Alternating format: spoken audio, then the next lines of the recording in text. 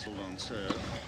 And then suddenly McEnroe lost his, and it looked to be all over. And Borg at two match points, two championship points, looked to be in the driving seat, and we were all ready to congratulate him on his fifth title when suddenly McEnroe